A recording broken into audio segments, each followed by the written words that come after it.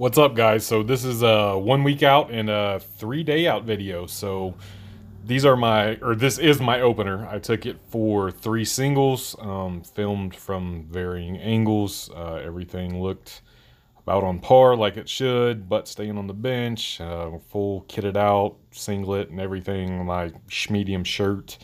Um, pauses, bar looking great. Uh, this juicy fucking quad pump that I had to show the world.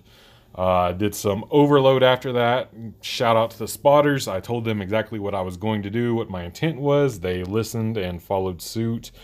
Um, I forget the exact weight. Uh, this is like 450 ish, and I'm just doing negatives and then holding it at my start position until I tell them to grab it. Uh, not interested in any sort of wanting to push at all off of this. Working the old Golgi tendon organs. Uh, so the actual weight that I push doesn't feel heavy. Uh, hit incline 325 for an easy triple. I did one plate after for pump work and I didn't film it. It's not relevant. And then here, this is this morning, Wednesday morning, three days out. 415. This is eight pounds over my opener. Uh, fast as fuck, boy.